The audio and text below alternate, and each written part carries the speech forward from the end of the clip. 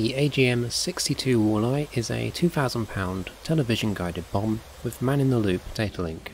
This is the first weapon of its kind in DCS. We can not only view the camera in the front of the bomb all the way to impact, but we can also make corrections in flight. However, this bomb is based on old technology being an early smart weapon.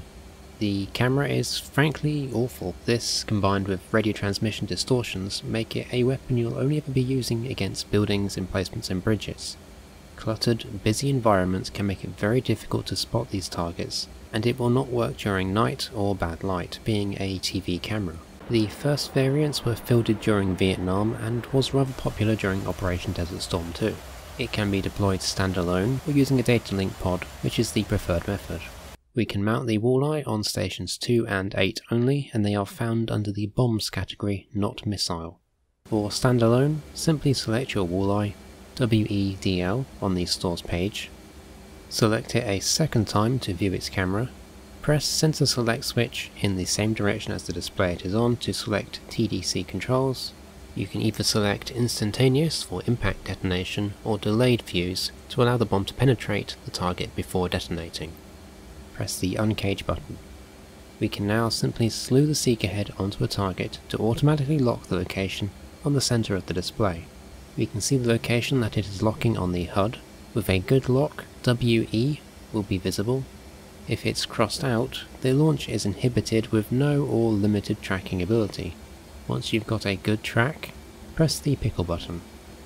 This will cut the video feed and release the bomb and it'll fly to its target. When the bomb is released, you will get a heavy wing drop, so be prepared to correct for this, and trim it out. It is a fire and forget weapon, much like a Maverick, the only issue is the lock range and the camera. Locking can be unreliable, putting you into close proximity with it, trying to achieve said lock, and your range is limited to only a few miles. It is critical when dropping in a dive that you gently pull up to at least 1G before release, to ensure that you do not collide with your own walleye, even 0.5 Gs is more than enough to collide with the bomb as you release it. If you have to go around or lose track of the sensor, press the crab button on the display to return to bore sight to recage the sensor. Because the camera is not terribly good at range, I usually use the HUD to locate and place the crosshair onto target.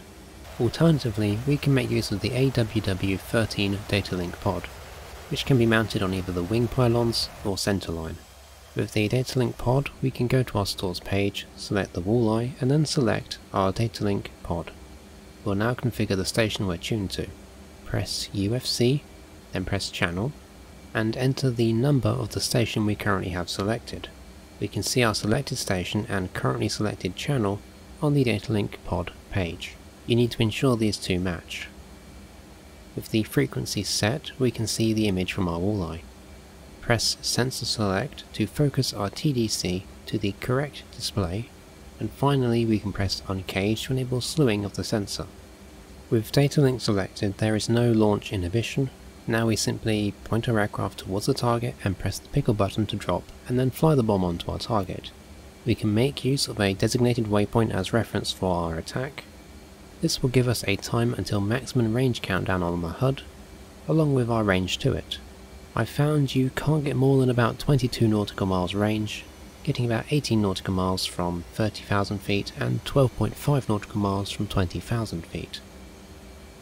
With a waypoint designated and in range, we simply press the uncage button to have the camera to our waypoint if you have not already, and once we're ready, simply press pickle you'll notice the camera jumps and we'll lose track of our point. I'm unsure if this is a bug or not, but because of this I'd recommend building up a memory of the features around the target or have a reference image to help you orient yourself back onto target. Something very helpful to include in a mission briefing or kneeboard. You steer the bomb with the TDC slew controls, releasing TDC depress or pressing it if you're using the unrealistic TDC control will attempt to lock the point centered on the display You can see the direction the seeker head is looking, represented by a box, which is masked when it passes over the crosshair. This indicates the bomb is flying directly at our target. Try to avoid over-controlling the bomb, this will waste energy and reduce range. It's also very easy to overshoot your target, so it's best to try and get a reasonable lock early and leave it be. As you near the target, tapping the TDC depress repeatedly can help the bomb lock and make final corrections.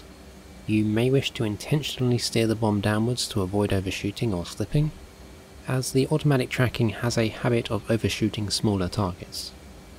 Your ability to steer is fairly limited, so you want to be sure to set the bomb up on target by the time you're within a couple miles. You may find it easier to use the center display to guide the bomb, having a black and white image, which has better contrast. Just remember to keep an eye on where your aircraft is flying to, you may wish to repeat your HUD on the left or right display for this purpose. In the future we'll gain the ability to guide a wingman's walleye, reducing the workload for the pilot as they egress from the target area. Remember to step the station and retune the channel to match your second walleye, and to deselect the datalink pod once you are done. You can use a datalink guided walleye to attack unseen targets through a cloud layer, unlike using laser guided bombs or even JDAMs if you do not have the exact location of your target. I wouldn't recommend trying to loft a walleye as the narrow field of view on the sensor make it very easy to get disorientated and lost. Combined with the heavy weight and automatic tracking, its range can be quite limited. The walleye gives us a taste of what's to come with the modern AGM-84 SLAM-ER cruise missiles, having similar features, which is due to come out later on. Until then though, we have the walleye which is a very interesting weapon and great for historical scenarios. I hope you enjoyed, and take care.